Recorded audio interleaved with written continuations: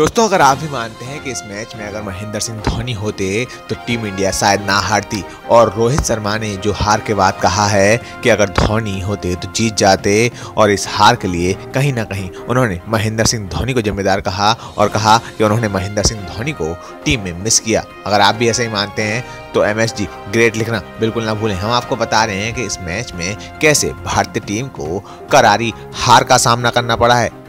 दरअसल टॉस हारने के बाद टीम इंडिया ने आज पहले बल्लेबाजी की और टीम इंडिया का एक भी बल्लेबाज 20 रन तक का स्कोर खड़ा नहीं कर पाया। सबसे ज़्यादा रन यजवेंद्र चहल ने 18 रुक के रूप में बनाए और उनके बाद कोई भी ऐसा बल्लेबाज नहीं दिखा जो कि टीम इंडिया की तरफ़ से लड़ सके।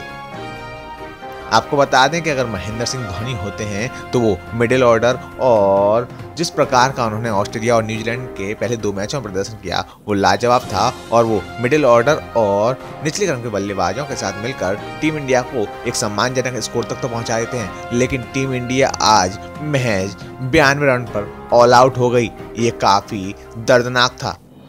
और टीम इंडिया को इस मैच में करारी हार का सामना करना पड़ा। न्यूजीलैंड ने बयानवे रन बिना किसी मुश्किल के बना लिए और इस श्रृंखला में अपनी पहली जीत दर्ज कर ली। और हार के बाद कप्तान रोहित शर्मा भावुक हुए और उन्होंने महेंद्र सिंह धोनी को मिस किया। ये बात का खुलासा कर कर उन्होंने ये साबित कर दिया कि अगले मैच में महेंद्र सिंह धोनी की वापसी पक्की है। और टीम इंडिया को जो आठ विकेट से करारी हार का सामना करना पड़ा, उसको शायद महेंद्र सिंह धोनी अगले मैच में जीत के रूप में कप्तान रोहित शर्मा को एक गिफ्ट दे दें, क्योंकि 200 मैच में रोहित शर्मा के लिए इससे ज़्यादा बुरा कुछ नहीं हो सकता कि अपनी टीम को वो सबसे लोएस्ट स्कोर पर आउट कराकर चलते बने। अगर आप भी महेंद्र सिंह धोनी को मिस करते हैं तो इस वीडियो को लाइक करना बिल्कुल ना भूलें।